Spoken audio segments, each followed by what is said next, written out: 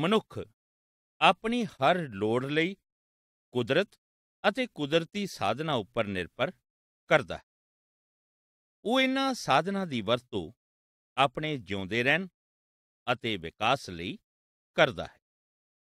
ਆਬਾਦੀ ਦੇ ਵਾਧੇ ਅਤੇ ਉਦਯੋਗਿਕ ਵਿਕਾਸ ਨੇ ਕੁਦਰਤੀ ਸਾਧਨਾ ਤੇ ਦਬਾਅ ਵਧਾ ਕੇ ਵਾਤਾਵਰਣ ਦੀ ਗੁਣਵੱਤਾ ਘਟਾਈ ਹੈ।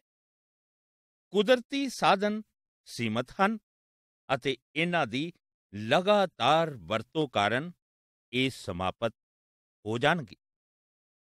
ਹੁਣ ਪ੍ਰਸ਼ਨ ਇਹ ਉੱਠਦਾ ਹੈ ਕਿ ਕੀ ਸਾਡੀ ਆਉਣ ਵਾਲੀ ਪੀੜ੍ਹੀ ਜੰਗਲ, ਪਾਣੀ ਅਤੇ ਜਾਨਵਰਾਂ ਆਦਿ ਦੇ ਬਿਨਾਂ ਜਿਉਂਦੀ ਰਹਿ ਸਕੇਗੀ? ਤੁਸੀਂ ਕੀ ਸੋਚਦੇ ਹੋ? ਤੁਹਾਡਾ ਜਵਾਬ ਨਾ ਹੋਵੇਗਾ। ਇਹਨਾਂ ਹਾਲਾਤਾਂ ਦਾ ਸਾਡੀ ਆਉਣ ਵਾਲੀ ਪੀੜ੍ਹੀ ਨੂੰ ਸਾਹਮਣਾ ਕਰਨਾ ਪਵੇਗਾ।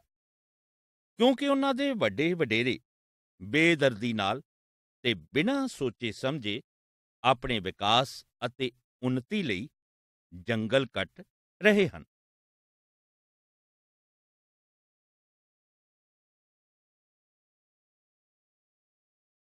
ਵਿਦਿਆਰਥੀਓ ਮੈਂ ਤੁਹਾਡਾ ਅੱਜ ਦੀ ਕਲਾਸ ਵਿੱਚ ਸਵਾਗਤ ਕਰਦਾ ਹਾਂ। ਅੱਜ ਅਸੀਂ ਖੇਤਰੀ ਵਾਤਾਵਰਣੀ ਮਸਲਿਆਂ ਬਾਰੇ ਵਿਚਾਰ ਕਰਾਂਗੇ।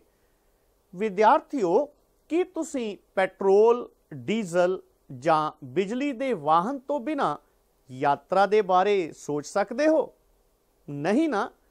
ਪਰ ਇਹ ਸਾਡੀ ਬਦਕਿਸਮਤੀ ਹੈ ਕਿ ਸਾਡੀ ਪੀੜ੍ਹੀ ਕੁਦਰਤੀ ਸਾਧਨਾਂ ਨੂੰ ਬੜੀ ਬੇਦਰਦੀ ਨਾਲ ਖਤਮ ਕਰ ਰਹੀ ਹੈ। ਇਸ ਨਾਲ ਨਾ ਕੇਵਲ ਮੁਸ਼ਕਲ ਹਾਲਾਤ ਪੈਦਾ ਹੋਣਗੇ, ਬਲਕਿ ਪ੍ਰਦੂਸ਼ਣ ਨਾਲ ਵਾਤਾਵਰਣ ਵੀ ਖਰਾਬ ਹੋਵੇਗਾ।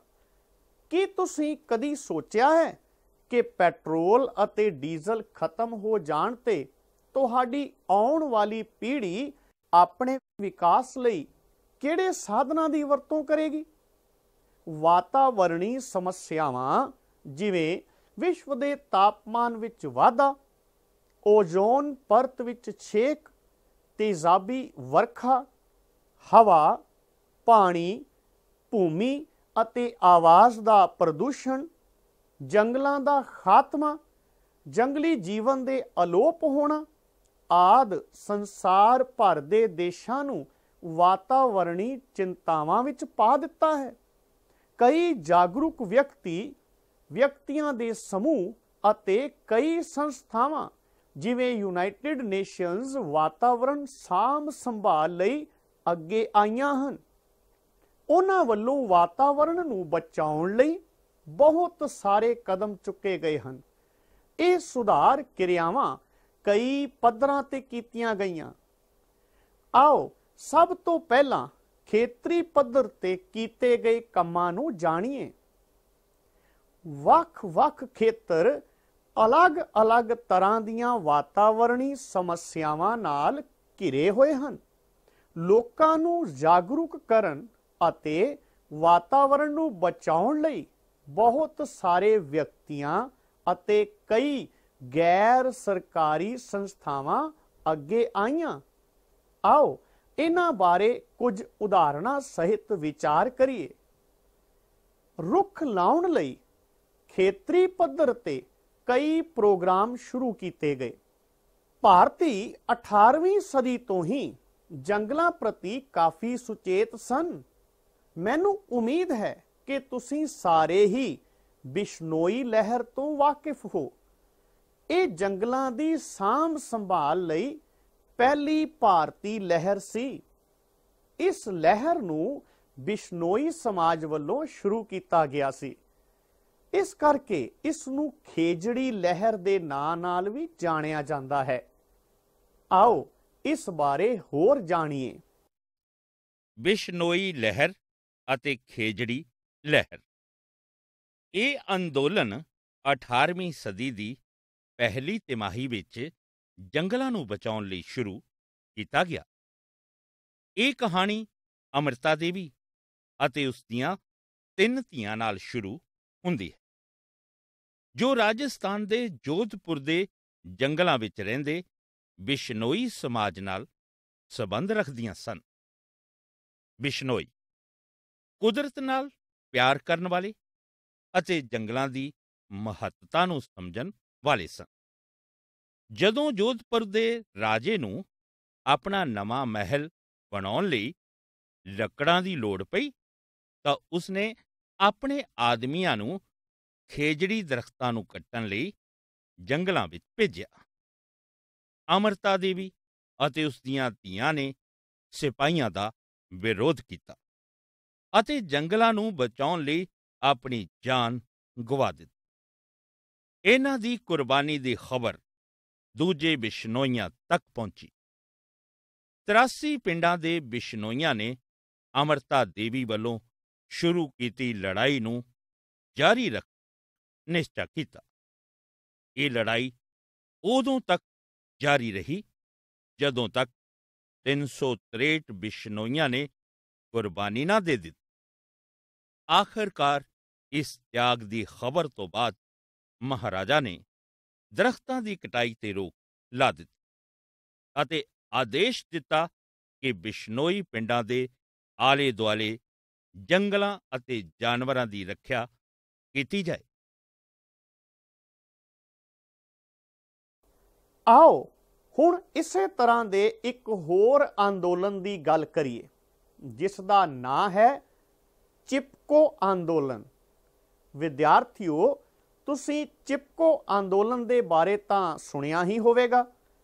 ਦਰਅਸਲ, ਚਿਪਕੋ ਅੰਦੋਲਨ ਜਾਂ ਚਿਪਕੋ ਲਹਿਰ ਨੂੰ ਮਾਰਚ 1973 ਵਿੱਚ ਗੋਪੇਸ਼ਵਰ ਵਿੱਚ ਇੱਕ ਠੇਕੇਦਾਰ ਵੱਲੋਂ ਜੰਗਲਾਂ ਨੂੰ ਕੱਟਣ ਤੋਂ ਬਚਾਉਣ ਲਈ ਸ਼ੁਰੂ ਕੀਤਾ ਗਿਆ। ਗੋਪੇਸ਼ਵਰ ਚਮੋਲੀ ਜ਼ਿਲ੍ਹੇ ਵਿੱਚ ਇੱਕ ਪਹਾੜੀ ਕਸਬਾ ਹੈ। ਇਸ ਅੰਦੋਲਨ ਨੂੰ ਚਮੋਲੀ ਜ਼ਿਲ੍ਹੇ ਵਿੱਚ ਰੈਣੀ ਪਿੰਡ ਦੀ ਗੌਰਾ ਦੇਵੀ ਵੱਲੋਂ ਸ਼ੁਰੂ ਕੀਤਾ ਗਿਆ। ਆਓ ਇਸ ਲਹਿਰ ਬਾਰੇ ਹੋਰ ਜਾਣੀਏ। ਇਸ ਲਹਿਰ ਦੇ ਤਹਿਤ ਲੋਕ ਦਰਖਤਾਂ ਦੇ ਚਾਰੇ ਪਾਸੇ ਜੱਫੀ ਪਾ ਕੇ ਖੜੇ ਹੋ ਜਾਂਦੇ ਅਤੇ ਗੌਰਾ ਦੇਵੀ ਦੀ ਅਗਵਾਈ ਹੇਠ ਉਹ ਦਰਖਤਾਂ ਨੂੰ ਕੱਟਣ ਨਹੀਂ ਦਿੰਦੇ ਸਨ। 1974 ਵਿੱਚ ਇਹ ਲਹਿਰ ਸਿਖਰ ਤੇ ਪਹੁੰਚੀ। ਗੋਪੇਸ਼ਵਰ ਪਿੰਡ ਦੀਆਂ ਔਰਤਾਂ ਜੰਗਲ ਦੀ ਨਿਲਾਮੀ ਖਿਲਾਫ ਖੜੀਆਂ ਹੋ ਗਈਆਂ। ਔਰਤਾਂ ਨੇ ਜੰਗਲ ਦੇ ਰਸਤੇ ਨੂੰ ਰੋਕ ਲਿਆ, ਜੋ ਕਿ ਪਿੰਡ ਵਿੱਚੋਂ ਹੋ ਕੇ ਜਾਂਦਾ ਸੀ।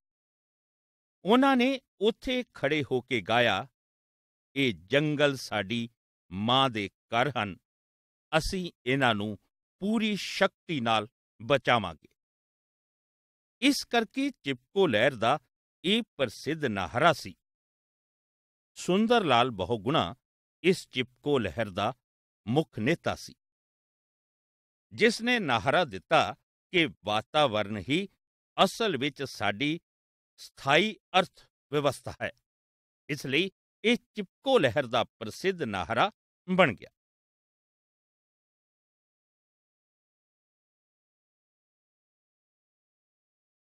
ਅਹਿੰਸਾ ਤੇ ਆਧਾਰਿਤ ਕਾਰਜਾਂ ਵਾਲਾ ਚਿਪਕੋ ਅੰਦੋਲਨ ਲੋਕਾਂ ਨੂੰ ਇਕੱਠੇ ਕਰਨ ਅਤੇ ਜੰਗਲੀ ਸਾਧਨਾਂ ਦੇ ਗੈਰ ਪ੍ਰਬੰਧਨ ਬਾਰੇ ਧਿਆਨ ਖਿੱਚਣ ਵਿੱਚ ਕਾਮਯਾਬ ਹੋਇਆ। ਫਿਰ ਭਾਰਤ ਸਰਕਾਰ ਨੇ ਮਾਹਿਰਾਂ ਅਤੇ ਵਿਦਵਾਨਾਂ ਦੀ ਇੱਕ ਕਮੇਟੀ ਦਾ ਗਠਨ ਕੀਤਾ ਤਾਂ ਜੋ ਇਹ ਜਾਣਿਆ ਜਾ ਸਕੇ ਕਿ ਗੋਪੇਸ਼ਵਰ ਖੇਤਰ ਦੇ ਜੰਗਲਾਂ ਨੂੰ ਕੱਟਣਾ ਚਾਹੀਦਾ ਹੈ ਜਾਂ ਨਹੀਂ। ਕਮੇਟੀ ਨੇ ਆਪਣੀ ਰਿਪੋਰਟ ਵਿੱਚ ਇਹ ਹੀ ਕਿਹਾ ਕਿ ਲੋਕਾਂ ਦਾ ਕਹਿਣਾ ਸਹੀ ਹੈ। ਕਮੇਟੀ ਨੇ ਰਿਪੋਰਟ ਵਿੱਚ ਲਿਖਿਆ ਕਿ ਹਿਮਾਲਿਆ ਦੇ ਖੇਤਰ ਵਿੱਚ ਪਾਣੀ ਦੇ ਭੰਡਾਰਾਂ ਦੇ ਡੂੰਘਾਈ ਤੇ ਸਥਿਤ ਹੋਣ ਕਾਰਨ ਇਹ ਅਤ ਸੰਵੇਦਨਸ਼ੀਲ ਖੇਤਰ ਹੈ ਤੇ ਦਰਖਤਾਂ ਦੀ ਕਟਾਈ ਰੋਕ ਕੇ ਜੰਗਲਾਂ ਨੂੰ ਮੁੜ ਉੱਗਣ ਦੇਣਾ ਚਾਹੀਦਾ ਹੈ।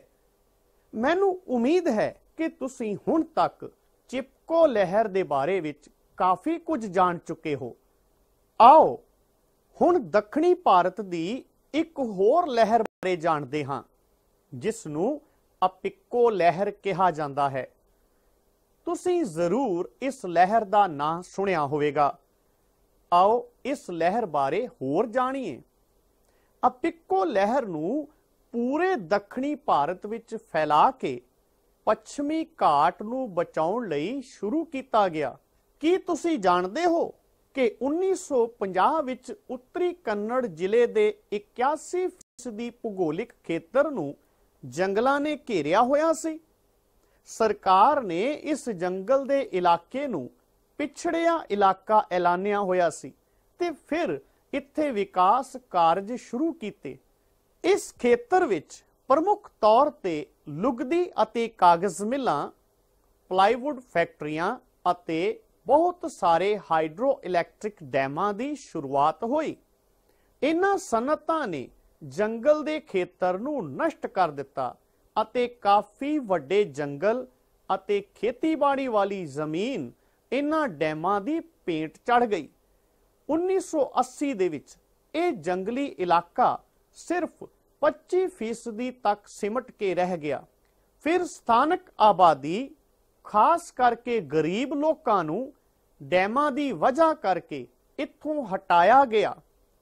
ਟੀਕ ਅਤੇ ਸਫੈਦੇ ਦੇ ਦਰਖਤਾਂ ਨੇ ਪਾਣੀ ਦੇ ਸਰੋਤਾਂ ਨੂੰ ਸੋਖ ਲਿਆ, ਜਿਸ ਨਾਲ ਜੰਗਲਾਂ ਦਾ ਵਧਣਾ ਫੁੱਲਣਾ ਸਿੱਧੇ ਤੌਰ ਤੇ ਪ੍ਰਭਾਵਿਤ ਹੋਇਆ। ਆਪਿੱਕੋ ਲਹਿਰ ਆਪਿੱਕੋ ਲਹਿਰ ਕਰਨਾਟਕਾ ਰਾਜ ਦੇ ਦੱਖਣੀ ਹਿੱਸੇ ਵਿੱਚ, ਉੱਤਰੀ ਕੰਨੜ ਵਿੱਚ ਸਲਕਾਨੀ ਪਰਿਵਾਰ ਤੋਂ ਸ਼ੁਰੂ ਹੋਈ। ਇਸ ਅੰਦੋਲਨ ਦੀ ਅਗਵਾਈ ਪੰਦੁਰੰਗਾ ਹੇਗੜੇ ਨੇ ਕੀਤੀ। ਇਹ ਮੁੱਖ ਤੌਰ ਤੇ ਚਿਪਕੋ ਲਹਿਰ ਤੇ ਹੀ ਆਧਾਰਿਤ ਸੀ। ਸਥਾਨਕ ਭਾਸ਼ਾ ਵਿੱਚ ਅਪਿੱਕੋ ਤੋਂ ਭਾਵ ਦਰਖਤਾਂ ਨੂੰ ਜੱਫੀ ਪਾਉਣਾ ਹੀ ਸੀ। ਇਹ ਲਹਿਰ ਸਤੰਬਰ 1983 ਵਿੱਚ ਸ਼ੁਰੂ ਹੋਈ। ਇਹ ਲਹਿਰ ਦਰਖਤਾਂ ਨੂੰ ਕੱਟਣ ਤੋਂ ਬਚਾਉਣ ਵਿੱਚ ਸਫਲ ਰਹੀ। 1983 ਵਿੱਚ ਕਲਾਸੇ ਕੁਦਰਗੋੜ ਜੰਗਲ ਵਿੱਚ 150 ਔਰਤਾਂ ਅਤੇ 30 ਆਦਮੀਆਂ ਨੇ ਦਰਖਤ ਕੱਟਣ ਵਾਲਿਆਂ ਨੂੰ ਰੋਕਿਆ। ਇੱਥੇ ਲੋਕਾਂ ਨੇ ਇੱਕ ਹਰਮਨ ਪਿਆਰਾ ਨਾਹਰਾ ਦਿੱਤਾ। ਉਬਸੂ ਬੇਲੇਸੂ ਅਤੇ ਬਾਲਾਸੂ ਜਿਸ ਵਿੱਚ ਉਬਸੂ ਦਾ ਅਰਥ ਬਚਾਉਣਾ ਬੇਲੇਸੂ ਦਾ ਅਰਥ ਉਗਾਉਣਾ ਅਤੇ ਬਾਲਾਸੂ ਦਾ ਅਰਥ ਜੰਗਲਾਂ ਦੀ ਸਹੀ ਵਰਤੋਂ ਕਰਨਾ। ਕੁੱਲ ਮਿਲਾ ਕੇ ਨਾਹਰੇ ਦਾ ਅਸਲੀ ਅਰਥ ਸੀ ਜੰਗਲਾਂ ਨੂੰ ਬਚਾਉਣਾ, ਉਗਾਉਣਾ ਅਤੇ ਉਹਨਾਂ ਦੀ ਸਹੀ ਵਰਤੋਂ ਕਰਨਾ।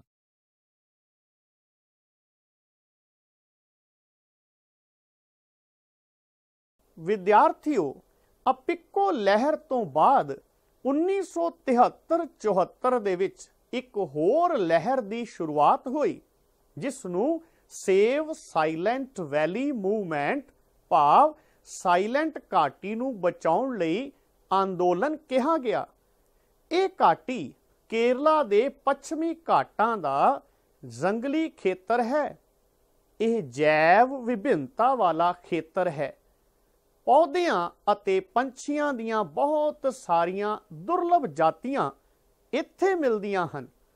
1972-73 ਵਿੱਚ ਕੇਰਲਾ ਰਾਜ ਬਿਜਲੀ ਬੋਰਡ ਨੇ ਇਸ ਘਾਟੀ ਵਿੱਚ ਕੁਨੀਪੂਜਾ ਦਰਿਆ ਤੇ 130 ਮੀਟਰ ਉੱਚਾ ਡੈਮ ਉਸਾਰਨ ਦੀ ਯੋਜਨਾ ਬਣਾਈ ਤਾਂ ਜੋ ਇਸ ਤੋਂ ਬਿਜਲੀ ਪੈਦਾ ਕੀਤੀ ਜਾ ਸਕੇ।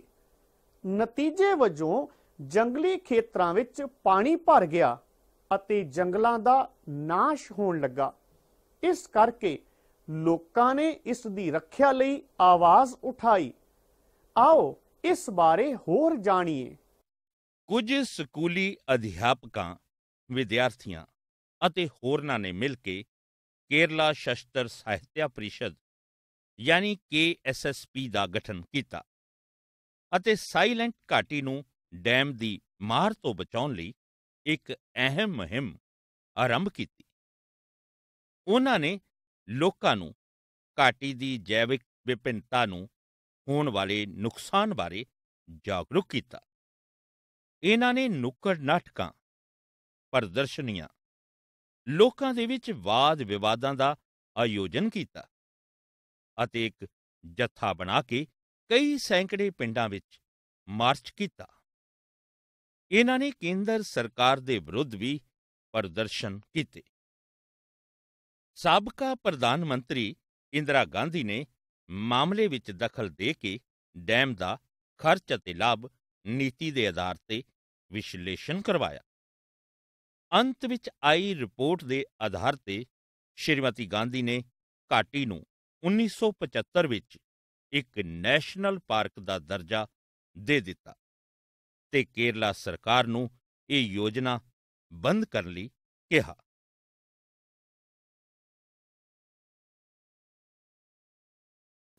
ਵਿਦਿਆਰਥੀਓ, ਮੈਨੂੰ ਪਤਾ ਹੈ ਕਿ ਤੁਹਾਨੂੰ ਬਿਸ਼ਨੋਈ, ਚਿਪਕੋ, ਅਪਿਕੋ ਅਤੇ ਸਾਇਲੈਂਟ ਘਾਟੀ ਲਹਿਰ ਬਾਰੇ ਬਹੁਤ ਕੁਝ ਪਤਾ ਲੱਗ ਚੁੱਕਾ ਹੈ। ਚਲੋ ਹੁਣ ਕੁਝ ਪ੍ਰਸ਼ਨ ਪੁੱਛਦੇ ਹਾਂ ਅਤੇ ਪਤਾ ਕਰਦੇ ਹਾਂ ਕਿ ਤੁਹਾਨੂੰ ਕਿੰਨਾ ਕੁਝ ਸਮਝ ਆਇਆ ਹੈ। ਸਵਾਲ ਹੈ, ਚਿਪਕੋ ਅੰਦੋਲਨ ਕਿਉਂ ਸ਼ੁਰੂ ਕੀਤਾ ਗਿਆ? ਜਵਾਬ ਹੈ, ਚਿਪਕੋ ਅੰਦੋਲਨ ਭਾਰਤ ਦੇ ਉੱਤਰਾਂਚਲ ਰਾਜ ਵਿੱਚ ਦਰਖਤਾਂ ਦੀ ਰੱਖਿਆ ਕਰਨ ਲਈ ਸ਼ੁਰੂ ਕੀਤਾ ਗਿਆ ਸੀ। ਅਗਲਾ ਸਵਾਲ, ਚਿਪਕੋ ਅੰਦੋਲਨ ਕਿੱਥੇ ਸ਼ੁਰੂ ਹੋਇਆ? ਜਵਾਬ ਹੈ, ਚਿਪਕੋ ਅੰਦੋਲਨ ਭਾਰਤ ਦੇ ਉੱਤਰਾਂਚਲ ਰਾਜ ਦੇ ਚਮੌਲੀ ਜ਼ਿਲ੍ਹੇ ਤੋਂ ਸ਼ੁਰੂ ਹੋਇਆ। ਅਗਲਾ ਸਵਾਲ ਅਪਿੱਕੋ ਲਹਿਰ ਨਾਲ ਜੁੜੇ ਇੱਕ ਵੱਡੇ ਨੇਤਾ ਦਾ ਨਾਂ ਦੱਸੋ। ਜਵਾਬ ਹੈ ਪੰਦੂਰੰਗਾ ਹੇਗੜੇ। ਅਪਿੱਕੋ ਲਹਿਰ ਨਾਲ ਜੁੜਿਆ ਇੱਕ ਵੱਡਾ ਨੇਤਾ ਸੀ। ਅਗਲਾ ਸਵਾਲ, ਚਿਪਕੋ ਲਹਿਰ ਦਾ ਵੱਡਾ ਨੇਤਾ ਕੌਣ ਸੀ? ਜਵਾਬ ਹੈ ਸ਼੍ਰੀ ਸੁੰਦਰ ਲਾਲ ਬਹੁਗੁਣਾ, ਚਿਪਕੋ ਲਹਿਰ ਦਾ ਵੱਡਾ ਨੇਤਾ ਸੀ। ਅਗਲਾ ਸਵਾਲ ਅਪਿੱਕੋ ਅੰਦੋਲਨ ਕਿੱਥੋਂ ਸ਼ੁਰੂ ਹੋਇਆ ਸੀ? ਜਵਾਬ ਹੈ ਅਪਿੱਕੋ ਅੰਦੋਲਨ ਭਾਰਤ ਦੇ ਕਰਨਾਟਕਾ ਰਾਜ ਦੇ ਉੱਤਰੀ ਕੰਨੜਾ ਜ਼ਿਲ੍ਹੇ ਤੋਂ ਸ਼ੁਰੂ ਹੋਇਆ ਸੀ। ਅਗਲਾ ਸਵਾਲ, ਰਾਜਸਥਾਨ ਦੇ ਜੋਧਪੁਰ ਵਿੱਚ ਅਮਰਤਾ ਦੇਵੀ ਨੇ ਕਿਹੜੀ ਲਹਿਰ ਦੀ ਸ਼ੁਰੂਆਤ ਕੀਤੀ ਸੀ? ਜਵਾਬ ਹੈ, ਅਮਰਤਾ ਦੇਵੀ ਨੇ ਬਿਸ਼ਨੋਈ ਲਹਿਰ ਦੀ ਸ਼ੁਰੂਆਤ ਕੀਤੀ ਸੀ। ਅਗਲਾ ਸਵਾਲ, ਕੇਰਲਾ ਵਿੱਚ ਕੇਰਲਾ ਸ਼ਸਤਰ ਸਾਹਿਤਿਆ ਪਰਿਸ਼ਦ ਜਾਂ KSSP ਅਤੇ ਵਿਦਿਆਰਥੀਆਂ ਦੇ ਇੱਕ ਸਮੂਹ ਵੱਲੋਂ ਚਲਾਈ ਗਈ ਮੁਹਿੰਮ ਦਾ ਕੀ ਨਾਂ ਸੀ? ਜਵਾਬ ਹੈ, ਉਸ ਮੁਹਿੰਮ ਦਾ ਨਾਂ ਸੇਵ ਸਾਇਲੈਂਟ ਵੈਲੀ ਸੀ। ਵਿਦਿਆਰਥੀਓ, ਮੈਨੂੰ ਉਮੀਦ ਹੈ ਕਿ ਤੁਸੀਂ ਪਰਿਆਵਰਣ ਸੰਭਾਲ ਲਈ ਚਲਾਈਆਂ ਗਈਆਂ ਲਹਿਰਾਂ ਬਾਰੇ ਜਾਣਕਾਰੀ ਪ੍ਰਾਪਤ ਕਰ ਲਈ ਹੈ। ਆਓ ਹੁਣ ਇਤਿਹਾਸਿਕ ਸਮਾਰਕਾਂ ਜਿਵੇਂ ਤਾਜ ਮਹਿਲ ਉੱਤੇ ਪੈਣ ਵਾਲੇ ਪਰਿਆਵਰਣਕ ਪ੍ਰਭਾਵਾਂ ਬਾਰੇ ਗੱਲ ਕਰੀਏ। ਦਰਅਸਲ ਤਾਜ ਮਹਿਲ ਦੁਨੀਆ ਦੇ ਅਜੂਬਿਆਂ ਵਿੱਚੋਂ ਇੱਕ ਹੈ।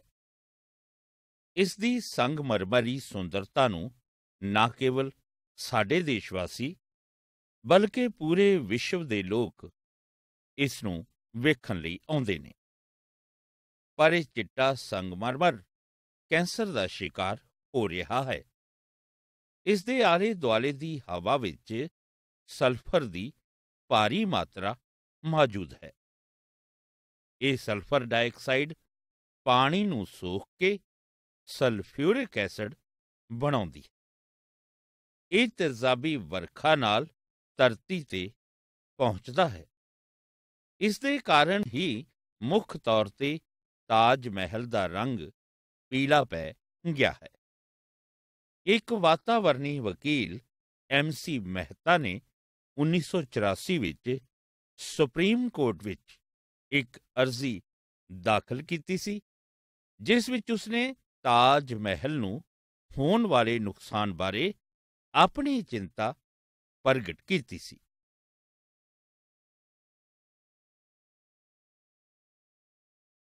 ਮਾਣਯੋਗ ਅਦਾਲਤ ਨੇ 12 ਸਾਲ ਤੱਕ ਇਸ ਦਾ ਅਧਿਐਨ ਕਰਨ ਤੋਂ ਬਾਅਦ ਤਾਜ ਮਹਿਲ ਦੇ ਆਲੇ ਦੁਆਲੇ ਦੀਆਂ 292 ਸਨਤਾਂ ਨੂੰ ਨਿਰਦੇਸ਼ ਦਿੱਤਾ ਕਿ ਜਾਂ ਤਾਂ ਉਹ ਆਪਣੀਆਂ ਫੈਕਟਰੀਆਂ ਬੰਦ ਕਰ ਦੇਣ ਜਾਂ ਫਿਰ ਪ੍ਰਦੂਸ਼ਣ ਨੂੰ ਕੰਟਰੋਲ ਕਰਨ ਵਾਲੇ ਮਾਪਦੰਡ ਅਪਣਾਉਣ।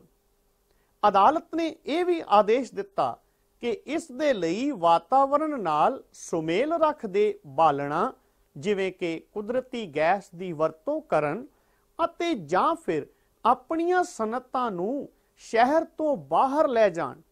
ਵਿਦਿਆਰਥੀਓ, ਕੀ ਤੁਸੀਂ ਜਾਣਦੇ ਹੋ ਕਿ ਐਮ ਸੀ ਮਹਿਤਾ ਨੇ ਸੁਪਰੀਮ ਕੋਰਟ ਵਿੱਚ ਦਿੱਲੀ ਸਰਕਾਰ ਖਿਲਾਫ ਇੱਕ ਜਨਹਿਤ ਯਾਚਿਕਾ ਦਾਖਲ ਕੀਤੀ ਸੀ?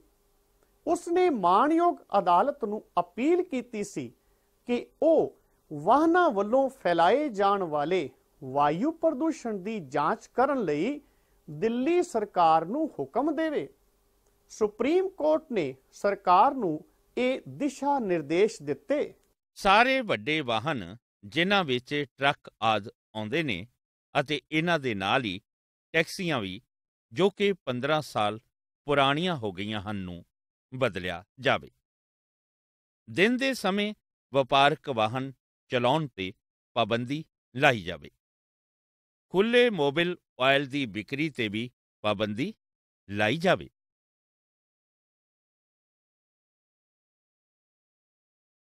ਅਸਲ ਵਿੱਚ ਐਮਸੀ ਮਹਿਤਾ ਭਾਰਤ ਦਾ ਸਭ ਤੋਂ ਪ੍ਰਸਿੱਧ ਵਾਤਾਵਰਣੀ ਵਕੀਲ ਹੈ। ਸ਼੍ਰੀ ਐਮਸੀ ਮਹਿਤਾ ਨੇ ਜਨਹਿਤ ਪਟੀਸ਼ਨ ਰਾਹੀਂ ਦਿੱਲੀ ਵਿੱਚ ਹਵਾ ਦੇ ਪ੍ਰਦੂਸ਼ਣ ਨੂੰ ਕੰਟਰੋਲ ਕਰਨ ਵਿੱਚ ਮਹੱਤਵਪੂਰਨ ਯੋਗਦਾਨ ਪਾਇਆ। 1984 ਤੋਂ ਲੈ ਕੇ ਉਸਨੇ ਕਈ ਜਨਹਿਤ ਪਟੀਸ਼ਨਾਂ ਵਾਤਾਵਰਣ ਦੀ ਸਾਂਭ ਸੰਭਾਲ ਲਈ ਦਾਖਲ ਕੀਤੀਆਂ। ਉਸ ਦੀ ਸਭ ਤੋਂ ਵੱਡੀ ਲੜਾਈ ਹੈ। ਤਾਜ ਮਹਿਲ ਨੂੰ ਬਚਾਇਆ ਜਾਵੇ। ਗੰਗਾ ਨਦੀ ਨੂੰ ਸਾਫ਼ ਕੀਤਾ ਜਾਵੇ।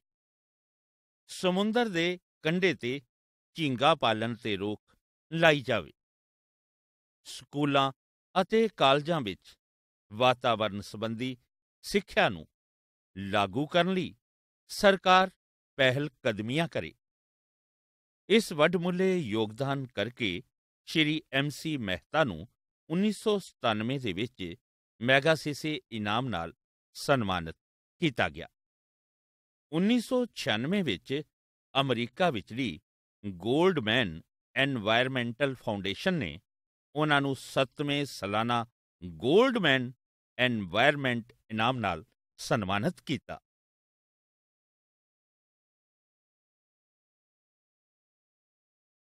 ਆਓ ਹੁਣ ਹਿਮਾਲਿਆ ਦੀ ਦੂਨ ਵੈਲੀ ਦੀ ਸਾਂਭ ਸੰਭਾਲ ਬਾਰੇ ਜਾਣੀਏ। ਅਸਲ ਵਿੱਚ ਉੱਤਰਾਂਚਲ ਦੀ ਦੂਨ ਵੈਲੀ ਬਹੁਤ ਸਾਰੀਆਂ ਖਾਣਾ ਸੰਬੰਧੀ ਸਮੱਸਿਆਵਾਂ ਦਾ ਸਾਹਮਣਾ ਕਰ ਰਹੀ ਹੈ। ਪਰ ਖੇਤਰੀ ਪੱਧਰ ਤੇ ਕਾਰਵਾਈ ਕਾਰਨ ਇਸ ਨੂੰ ਹੁਣ ਬਚਾਇਆ ਜਾ ਸਕਦਾ ਹੈ। ਕੀ ਤੁਸੀਂ ਜਾਣਦੇ ਹੋ ਕਿ ਕਿਵੇਂ? ਆਓ ਵੇਖੀਏ।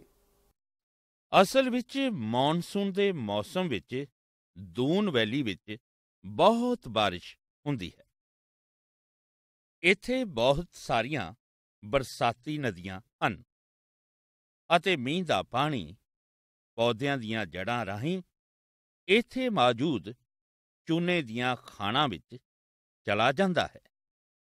ਇਸ ਖੇਤਰ ਵਿੱਚ ਚੂਨੇ ਦੀਆਂ ਖਾਣਾਂ ਦੀ ਖੁਦਾਈ ਅਤੇ ਜੰਗਲ ਦੀ ਕਟਾਈ ਦੇ ਕਾਰਨ ਇਥੋਂ ਦੇ ਪਰਿਸਥਿਤਿਕ ਪ੍ਰਬੰਧਾਂ ਅਤੇ ਨਦੀਆਂ ਨੂੰ ਖਤਰਾ ਪੈਦਾ ਹੋ ਰਿਹਾ ਹੈ। 1983 ਵਿੱਚ ਇੱਕ ਗੈਰ ਸਰਕਾਰੀ ਸੰਸਥਾ, ਰੂਰਲ ਲਿਟੀਗੇਸ਼ਨ ਐਂਡ ਟਾਈਟਲਮੈਂਟ ਕੇਂਦਰ, ਯਾਨੀ ਆਰਐਲਈਕੇ ਨੇ ਸੁਪਰੀਮ ਕੋਰਟ ਨੂੰ ਇੱਕ ਚਿੱਠੀ ਲਿਖੀ। ਕੋਰਟ ਨੇ ਇਸ ਚਿੱਠੀ ਨੂੰ ਇੱਕ ਮੁਕੱਦਮੇ ਦੀ ਤਰ੍ਹਾਂ ਲਿਆ ਅਤੇ ਦੇਹਰਾਦੂਨ ਦੇ ਜ਼ਿਲ੍ਹਾ ਮੈਜਿਸਟ੍ਰੇਟ ਨੂੰ ਖਾਣਾ ਦਾ ਕੰਮ ਰੋਕਣ ਦੇ ਆਦੇਸ਼ ਦਿੱਤੇ। ਹੋਰ ਵੀ ਬਹੁਤ ਸਾਰੀਆਂ ਉਦਾਹਰਨਾਂ ਹਨ, ਜਿੱਥੇ ਵਿਅਕਤੀ ਤੇ ਗੈਰ ਸਰਕਾਰੀ ਸੰਸਥਾਵਾਂ ਨੇ ਵਾਤਾਵਰਣ ਨਾਲ ਆਪਣਾ ਸਰੋਕਾਰ ਜਤਾਇਆ ਅਤੇ ਵਾਤਾਵਰਣ ਨੂੰ ਬਚਾਉਣ ਲਈ ਠੋਸ ਕਦਮ ਉਠਾਉਂਦੇ ਹੋਏ ਅੱਗੇ ਆਏ।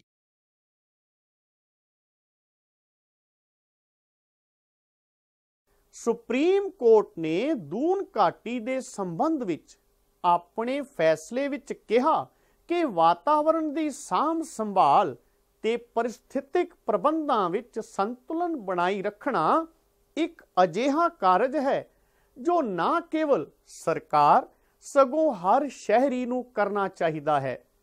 ਇਹ ਇੱਕ ਸਮਾਜਿਕ ਜ਼ਿੰਮੇਵਾਰੀ ਹੈ ਤੇ ਆਓ ਹਰੇਕ ਭਾਰਤੀ ਨਾਗਰਿਕ ਨੂੰ ਯਾਦ ਕਰਾਈਏ ਕਿ ਵਾਤਾਵਰਣ ਦੀ ਸਾਂਭ ਸੰਭਾਲ ਉਸ ਦਾ ਮੌਲਿਕ ਕਰਤੱਵ ਹੈ। ਜਿਵੇਂ ਕਿ ਸੰਵਿਧਾਨ ਦੇ ਆਰਟੀਕਲ 51 ਏ ਜੀ ਵਿੱਚ ਕਿਹਾ ਗਿਆ ਹੈ।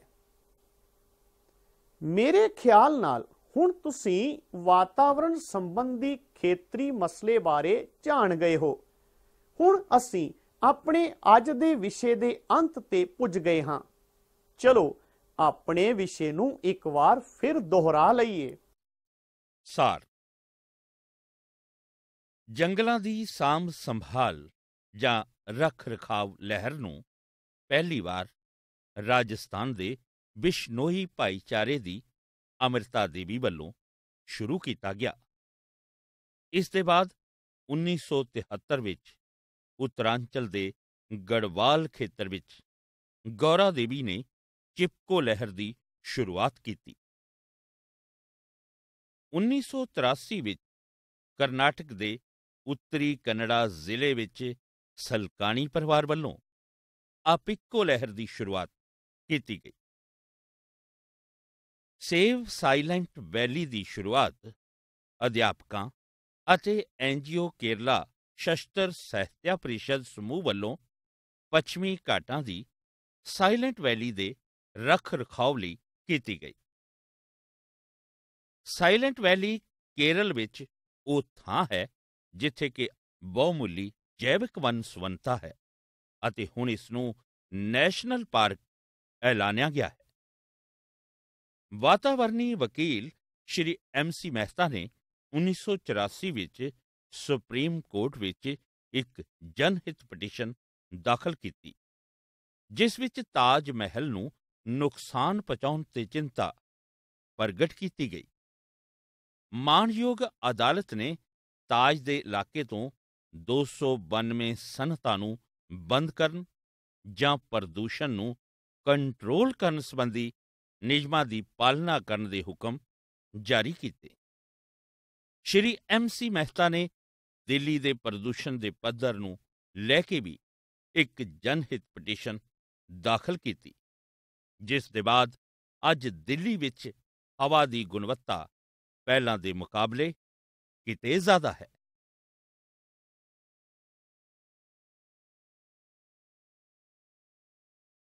ਵਿਦਿਆਰਥੀਓ ਹੁਣ ਆਪਾਂ ਜਲਦੀ ਨਾਲ ਕੁਝ ਸਵਾਲ ਪੁੱਛ ਕੇ ਇਹ ਪਤਾ ਕਰਦੇ ਹਾਂ ਕਿ ਅੱਜ ਦੇ ਇਸ ਪਾਠ ਨੂੰ ਤੁਸੀਂ ਕਿੰਨਾ ਸਮਝਿਆ ਹੈ ਸਵਾਲ ਹੈ ਤਾਜ ਮਹਿਲ ਨੂੰ ਬਚਾਉਣ ਲਈ ਅਦਾਲਤ ਨੇ ਕੀ ਫੈਸਲਾ ਦਿੱਤਾ ਸੀ ਜਵਾਬ ਹੈ ਮਾਣਯੋਗ ਅਦਾਲਤ ਨੇ ਤਾਜ ਮਹਿਲ ਦੇ ਆਲੇ ਦੁਆਲੇ ਦੀਆਂ 292 ਸਨਤਾਂ ਨੂੰ ਨਿਰਦੇਸ਼ ਦਿੱਤਾ ਕਿ ਜਾਂ ਤਾਂ ਉਹ ਆਪਣੀਆਂ ਫੈਕਟਰੀਆਂ ਬੰਦ ਕਰ ਦੇਣ ਜਾਂ ਫਿਰ ਪ੍ਰਦੂਸ਼ਣ ਨੂੰ ਕੰਟਰੋਲ ਕਰਨ ਵਾਲੇ ਮਾਪਦੰਡ ਅਪਣਾਉਣ।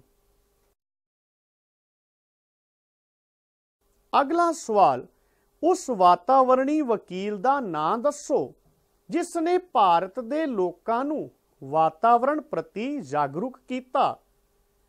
ਜਵਾਬ ਹੈ ਸ਼੍ਰੀ ਐਮ ਸੀ ਮਹਿਤਾ। ਅਗਲਾ ਸਵਾਲ, ਗੌਰਾ ਦੇਵੀ ਵੱਲੋਂ ਜੰਗਲਾਂ ਦੀ ਸਾਂਭ ਸੰਭਾਲ ਲਈ ਕਿਹੜੀ ਲਹਿਰ ਦੀ ਸ਼ੁਰੂਆਤ ਕੀਤੀ ਗਈ ਸੀ?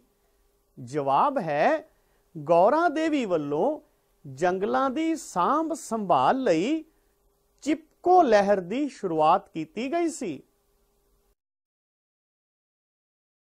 ਅਗਲਾ ਸਵਾਲ, ਕਿਸ ਵਾਤਾਵਰਣ ਵਕੀਲ ਨੂੰ 1997 ਵਿੱਚ ਮੈਗਾਸੇਸੇ ਇਨਾਮ ਨਾਲ ਸਨਮਾਨਿਤ ਕੀਤਾ ਗਿਆ ਸੀ? ਜਵਾਬ ਹੈ ਸ਼੍ਰੀ ਐਮ ਸੀ ਮਹਿਤਾ। ਉਮੀਦ ਹੈ ਕਿ ਤੁਹਾਨੂੰ ਖੇਤਰੀ ਵਾਤਾਵਰਣੀ ਮਸਲੇ ਬਾਰੇ ਚੰਗੀ ਜਾਣਕਾਰੀ ਦੇਣ ਦੀ ਮੈਂ ਇੱਕ ਸਫਲ ਕੋਸ਼ਿਸ਼ ਕੀਤੀ ਹੈ। ਤੁਹਾਡੇ ਸਹਿਯੋਗ ਤੇ ਧਿਆਨ ਦੇਣ ਲਈ ਬਹੁਤ ਬਹੁਤ ਧੰਨਵਾਦ। ਅਗਲੀ ਕਲਾਸ ਵਿੱਚ ਫਿਰ ਮਿਲਾਂਗੇ।